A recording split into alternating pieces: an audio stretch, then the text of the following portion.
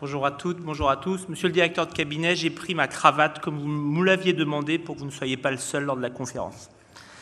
Euh, donc je tenais d'abord à remercier euh, chaleureusement les organisateurs de, de, POS de me donner cette opportunité de partager avec vous euh, mes convictions, les convictions d'INRIA sur le logiciel libre, sur l'open source, car vous le savez, ça a été dit par plusieurs intervenants, c'est un sujet qui est cher à l'INRIA.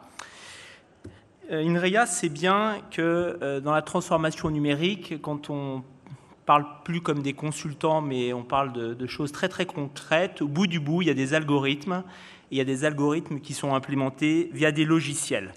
Et ici, évidemment, on sait bien à Poste que le logiciel est, cœur dans la transformation numérique, que c'est la brique de base pour l'innovation, pour la recherche, dans tous les domaines du numérique, et que les chercheurs, ça a été dit par Philippe Baptiste, les ingénieurs, les développeurs de logiciels sont au cœur de ce moteur il y a quelques années, j'avais été fier de participer dans d'autres fonctions euh, à une mission qui avait été confiée à Tariq Krim, le fondateur de NetVibes et de Jolly Cloud, pour mettre en avant la communauté des développeurs, le fait que c'était les héros méconnus de la révolution numérique et qu'on met souvent pas très en avant. Et c'est parce que le logiciel est la technologie numérique par excellence que les voies de l'innovation dans le numérique sont aussi radicalement différentes de celles dans d'autres secteurs. Il n'y a pas de molécules à breveter, vous le savez bien. Il y a des barrières qui sont souvent beaucoup moins élevées ou radicalement différentes que dans d'autres domaines. La technologie est plus plastique, elle est malléable, elle est propre, elle est propice au pivot. Et puis surtout, elle est intrinsèquement liée aux compétences qui sont portées par des femmes, par des hommes, qui la maîtrisent et qui peuvent faire évoluer les logiciels. Donc INRIA a une très forte culture du logiciel. C'est un institut de recherche où, je vous rassure, monsieur le directeur de cabinet, on développe des codes, c'est pris en compte dans l'évaluation, c'est dans la culture de l'Institut et c'est dans la culture de nos équipes qui sont communes avec des universités, avec le CNRS, la communauté numérique française. C'est depuis longtemps que le logiciel est au cœur de son activité. Et assez logiquement, INRIA a été dès le début de l'aventure du libre, elle a été embarquée dès le début de l'aventure du logiciel libre. Je parle bien sûr notamment des initiatives de Richard Stallman, il y a 30, 35 ans, et euh, notamment parce qu'il y avait évidemment cette culture du partage des codes entre développeurs. Et un des grands combats d'INRIA, il y a plusieurs d'entre vous qui le savent, parce qu'ils ont connu cette histoire, a été, au niveau français, d'expliquer, d'expliquer, d'expliquer que ce truc un peu bizarre, c'était important, et que, ce et que libre ne voulait pas dire gratuit. Voilà. Et INRIA a toujours vu le logiciel libre. Alors, j'allais oublier, moi je voulais rendre hommage à un grand nom de l'Institut, l'INRIA, qui a beaucoup joué, qui a joué un rôle important dans cette euh, dynamique du logiciel libre euh, à l'Institut, qui est Bernard Lang. INRIA, INRIA a toujours vu le logiciel libre comme un objet ayant plusieurs dimensions. Un objet de diffusion scientifique d'abord, comment maximiser par le partage, par des codes issus de travaux de recherche diffusés en open source, comment maximiser l'impact de nos travaux scientifiques au sein de la communauté scientifique déjà. INRIA a toujours vu le logiciel libre comme un objet industriel aussi. Comment faire que l'infrastructure technologique soit à coût partagé, à risque, soit à coût moindre, à risque partagé, comment maximiser l'impact de nos travaux auprès de nos partenaires industriels dans l'écosystème d'innovation par la diffusion de logiciels libres. Et puis ça a été également un objet de recherche. Il y a des travaux d'équipes de recherche INRIA qui portent sur l'open source, par exemple sur des sujets au croisement de la technologie et du droit. Euh, je parle par exemple de travaux pour arriver à garantir la maîtrise, alors je vais jargonner, de la maîtrise de la chaîne de droit dans l'open source les Américains ont compris dès le début l'importance du logiciel libre en, matière d'infrastructure et les industriels de la tech, souvent les Américains, autour du logiciel libre, ont rapidement compris que ça permettait de construire des standards de fait, que ça permettait de construire, d'attirer, de développer des communautés de développeurs dans lesquelles ils allaient pouvoir opérer des talents. Et dans ce contexte, INRIA, je vais faire un tout petit peu d'histoire, a eu deux types d'actions. INRIA a eu des actions d'abord en soutien politique du développement de la dynamique open source, à une époque où ce n'était pas nécessairement compris. Et puis ensuite, ça a été dit, euh, eh INRIA, comme d'autres acteurs de la recherche, a produit des logiciels open source issus de la recherche.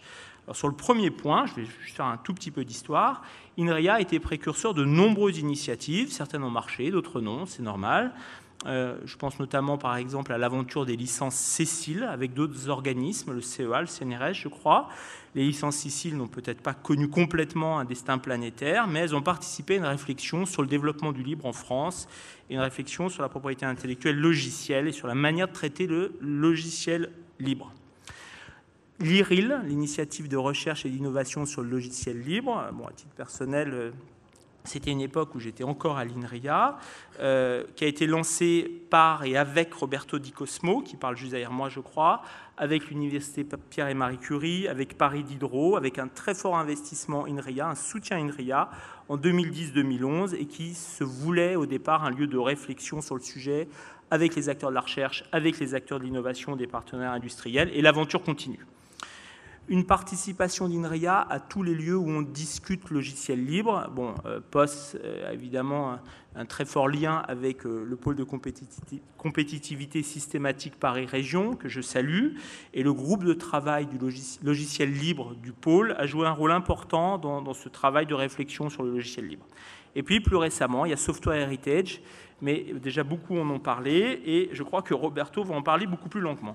Donc, toutes ces initiatives et j'en oublie, ont été des soutiens d'INRIA à la structuration de la communauté open source en France, et ces initiatives ont contribué à la compréhension par tous les acteurs français, qu'ils soient politiques, qu'ils soient industriels, qu'ils soient académiques. Au-delà de ces volets politiques, euh, bien sûr, la dynamique du logiciel libre chez INRIA passe aussi par le développement de nombreux logiciels en open source. Certains ont été, euh, ont été cités. Euh, donc je pense euh, aux contributions euh, de INRIA au compilateur GCC dans la galaxie GNU, je pense à Scilab, une boîte, on va dire, à outils pour la simulation numérique, je pense au système de preuve coq qui a été cité par Philippe, je pense au langage OCaml, développé notamment autour des travaux de très haut niveau scientifique de Xavier Leroy, à présent au Collège de France, sur une chaire sciences et logiciels. C'est un très bon exemple de l'imbrication pardon, entre travaux scientifiques de très haut niveau, par exemple autour, euh, on va dire, de Xavier Leroy, et de la capacité à porter dans la durée, dans le long terme, la construction, la capitalisation d'objets logiciels diffusés en open source.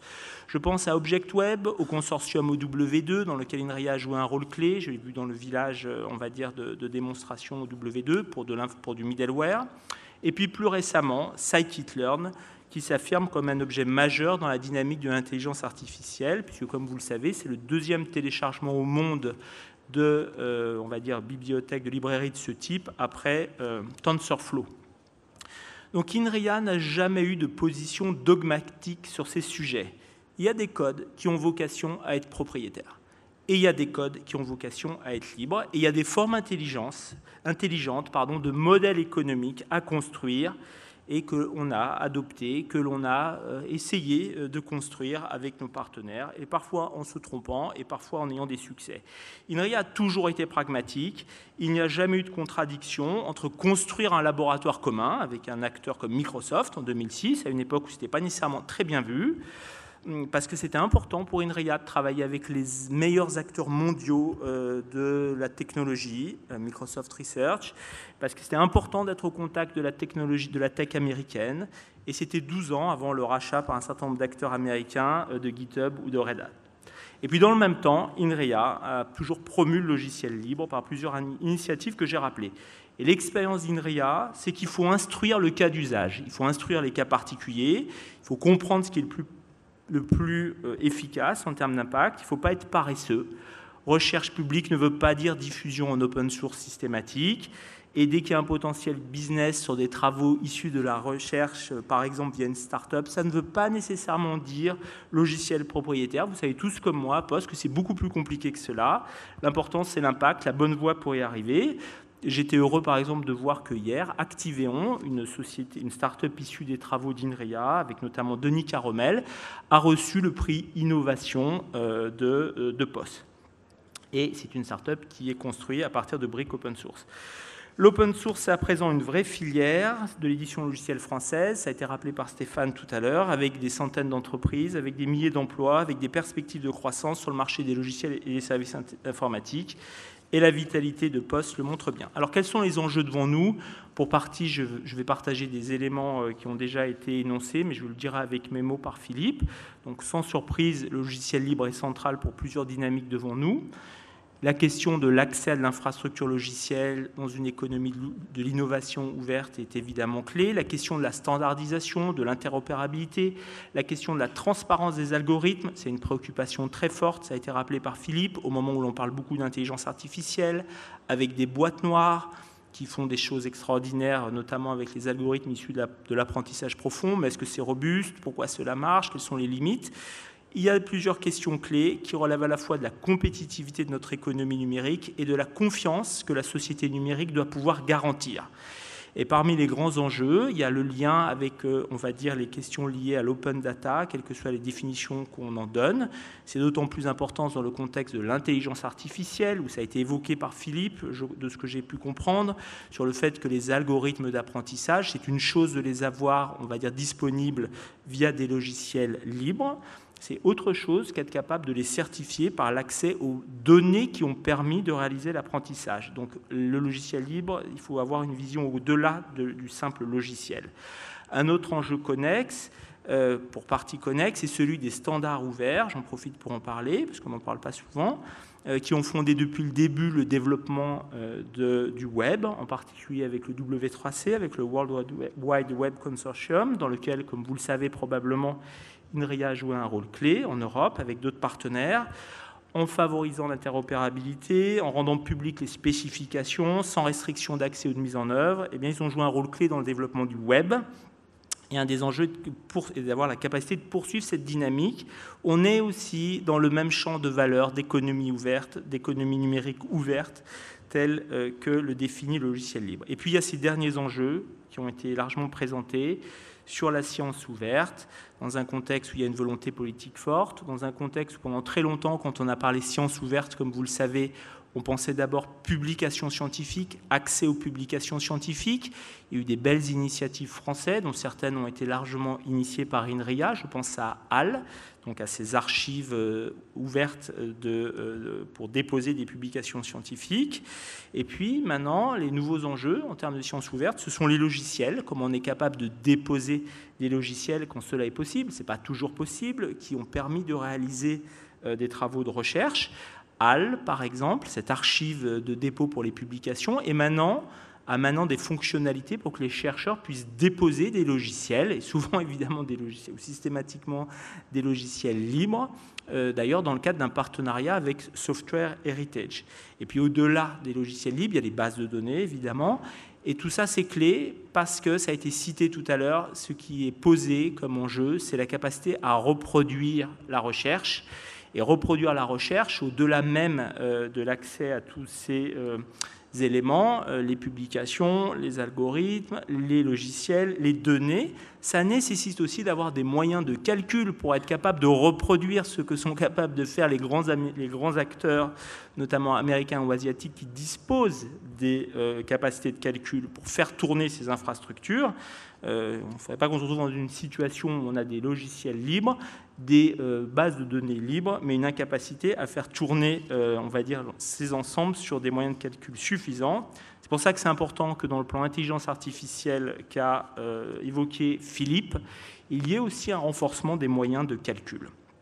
Donc vous l'aurez compris, le logiciel libre, c'est un sujet qui est important historiquement chez INRIA dont INRIA a accompagné la dynamique dans la durée et qui reste un sujet important pour INRIA parce qu'il est plus que jamais d'actualité dans toutes ces dynamiques liées à la science, liées à l'innovation que je viens d'évoquer.